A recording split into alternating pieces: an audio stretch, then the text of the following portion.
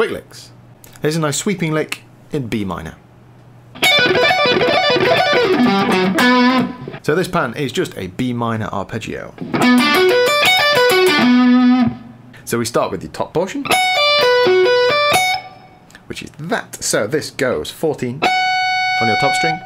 We pull off down to 10, and then pick a 12 with an upstroke. And then we do a sweep, 11, 12, 10, ready to pick that 14 again.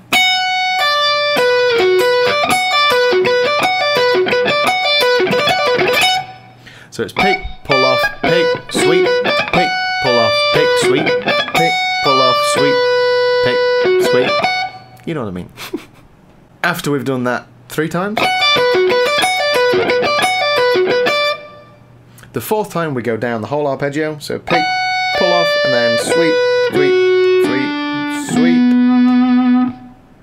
And then we go down to 10 on your A string, and we go 9, and then up to B on your D string. So all together.